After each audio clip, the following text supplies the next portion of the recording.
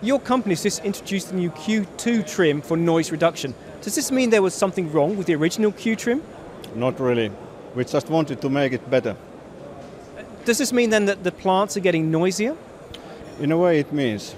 Uh, our customers, they want to improve efficiency of their plants, which means that they need to increase pressures and temperatures, and typically that leads higher pressure differential over the valve, which is generating more and more noise.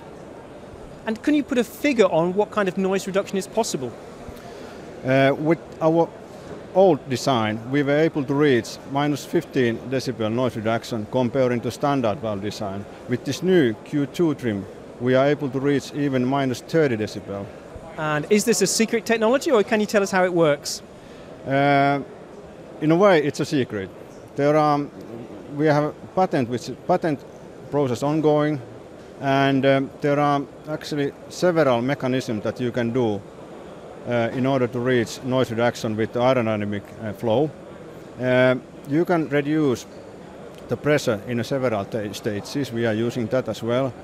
Uh, you can also divide the flow in several paths, which is also applied.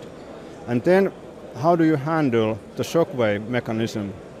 That's the kind of secret and, and key thing Okay, so you say it's just been launched, this new Q2 trim. What have been the results of any field tests or trials you've done? We have a couple, and those have been very promising and given so the good results that I was just explaining. So there are customers who, are, who have been using our Q2 in their processes, and they are very, very happy with the results.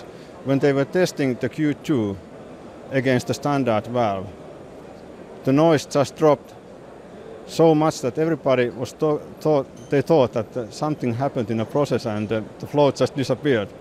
But when they realized that hey, it's it's really re reducing the noise so much that they were positively surprised and happy that uh, they were able to reduce the noise inside the plant